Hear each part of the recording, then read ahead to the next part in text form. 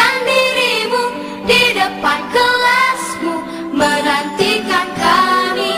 Guruku tersayang, guru tercinta Tanpamu apa jadinya aku? Tak bisa baca tulis, mengerti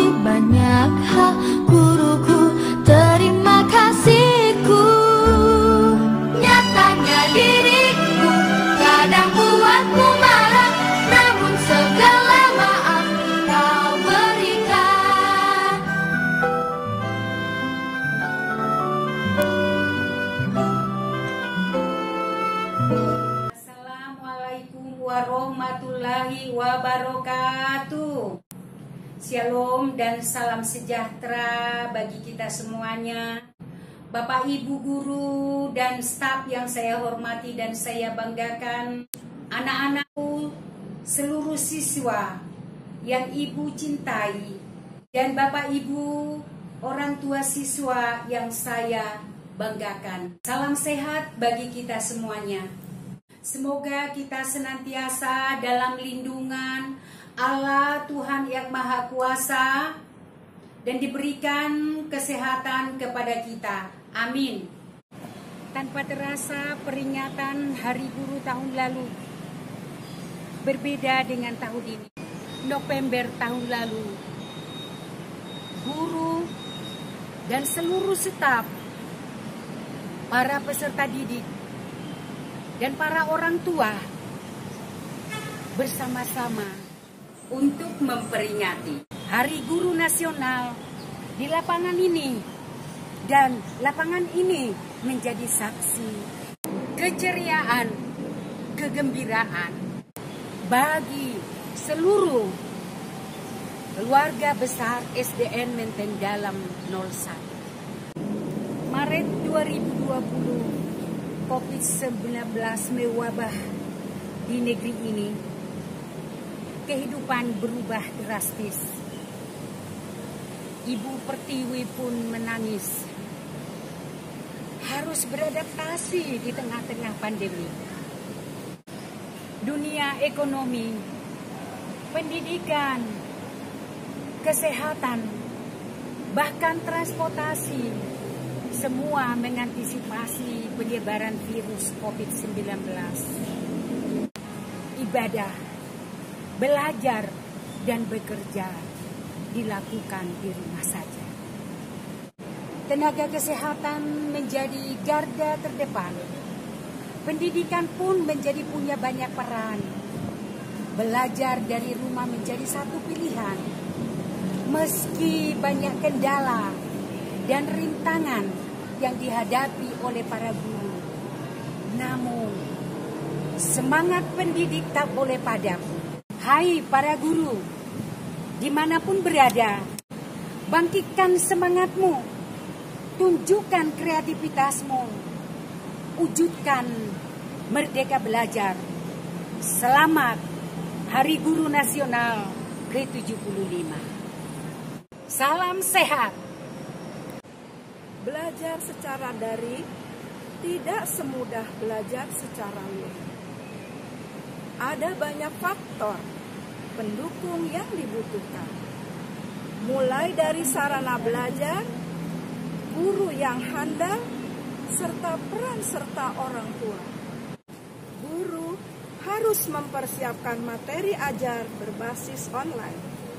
Mulai dari video, modul, kuis, melakukan Zoom meeting, Google Meet, menggunakan Google Classroom, serta Messenger dengan WhatsApp yang paling mudah digunakan. Yang tentu saja kegiatan tersebut menuntut guru untuk menguasai IT. Tidak hanya itu, guru harus kreatif, harus inovatif, menciptakan pembelajaran yang menarik, membangkitkan semangat peserta didiknya. Belajar dari rumah juga memerlukan fasilitas yang mendukung, seperti perangkat jaringan internet, agar peserta didik dapat mengikuti dengan baik. Ada banyak kendala yang dihadapi mulai dari minimnya fasilitas, baik HP maupun laptop, jaringan yang tidak stabil, serta kuota internet yang minim. Minimnya fasilitas pendukung tersebut menuntut guru untuk melakukan inovasi serta home visit untuk memberikan layanan pendidikan bagi peserta didik. Harus memastikan siswa tetap mendapat layanan pendidikan. Di tengah pandemi ini, beban kerja guru berlipat. Menurut peraturan, mulai bekerja pukul 6.30 pagi hingga pukul 15.00 sore. Namun berubah menjadi 24 jam. Ada banyak peserta didik yang tidak bisa menyelesaikan tugasnya sesuai waktu yang telah ditentukan. Penyebabnya adalah HP lobek, HP hanya satu dibawa orang tua bekerja. HP hanya satu. Kemudian yang menggunakan bisa dua tiga orang yang belajar secara home learning.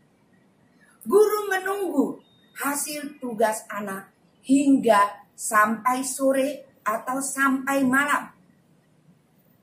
Terkadang guru ada emosi, tetapi tidak boleh karena dapat mengakibatkan imunitas menurun. Kita tetap semangat agar pendidikan tetap terjaga. Ibu Pertiwi tak butuh keluh kesahmu, wahai guruku. Semangat dan pengabdianmu lah yang kami tunggu. Janganlah lemah dan menyerah karena pandemi.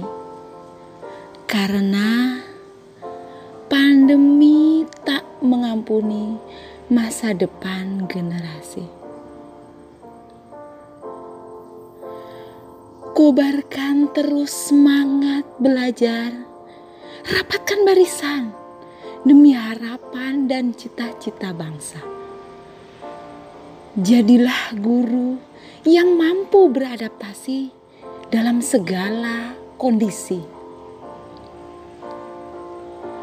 Tetaplah menginspirasi walau kita tak bisa tatap muka.